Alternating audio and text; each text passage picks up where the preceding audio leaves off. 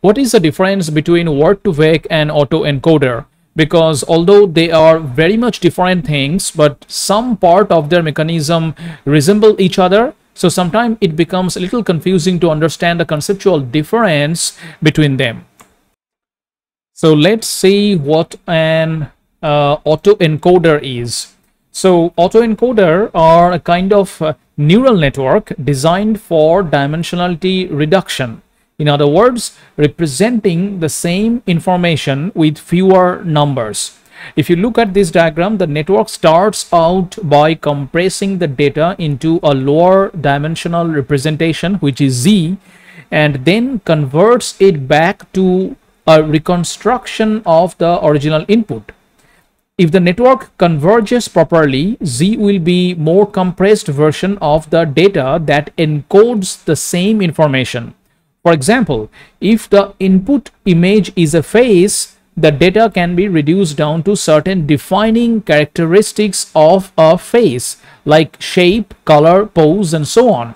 Representing each of those characteristics could be more effective than sorting each pixel and that's what autoencoder does. That instead of having millions of millions of pixels, I will have some defining characteristics of a face. And now let's see how word2vector works. So here is the classic um, uh, pictorial representation of the original uh, Google's proposal of their calculation of word2vector.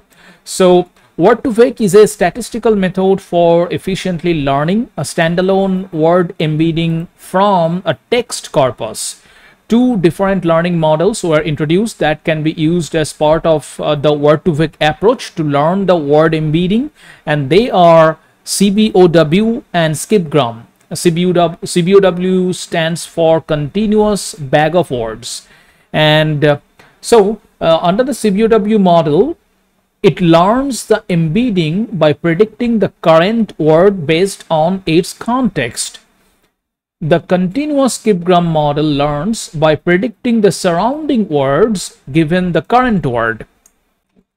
So we can clearly see in this picture in the CBOW, I have the input as the context of words and my target is to predict this word, target word.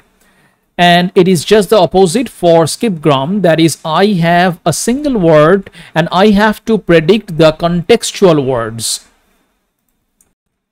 So now let's look at the differences between autoencoder and word2vec.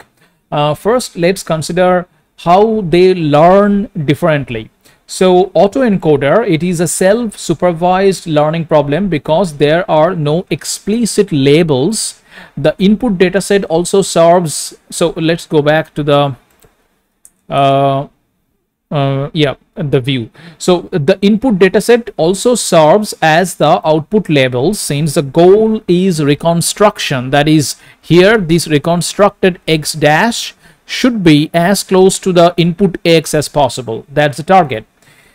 And now for word2vec uh, this is an unsupervised problem where I have a corpus of unlabeled text to begin with posed as a binary classification problem because the goal is predicting the source context word given the target word in the case of skipgram and uh, for the case of CBOW predict the target word given the source context word. So once again autoencoder is a self-supervised learning problem and word2vec is an unsupervised learning problem. Now let's look at the loss function between them. So let's go back to my autoencoder.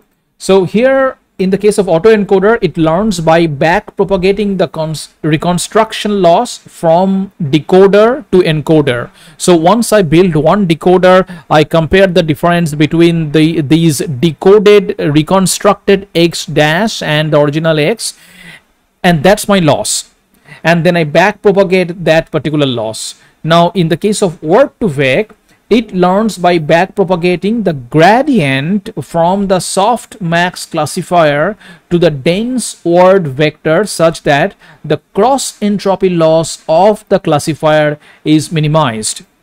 So the loss function the way it works that also is different so overall to sum up uh, an autoencoder's job is to represent a sparse input dataset in a compressed form that retains the most relevant information such that it may be reconstructed at the output with minimal loss from the compressed representation.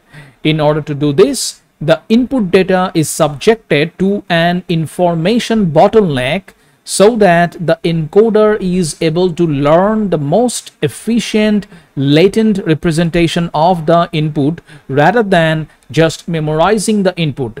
This is similar in spirit to matrix factorization. And now looking at word2vec, Word2Vec converts a sparse, unique indexing of the vocabulary. That is, in the input text, each word in the vocabulary is represented as unique index in a dictionary to a continuous, dense, and distributed representation that can be considered to be a compressed, latent representation of words in the vocabulary. This can also be considered to be similar in spirit to matrix, matrix factorization, but the goal here is to encode the context around the word rather than the word itself. Alright, that pretty much wraps up this video. If you have liked this one, smash the like button and also do subscribe because I'm going to do many interesting NLP projects over the coming days and weeks. So see you in the next one. Thank you very much for watching.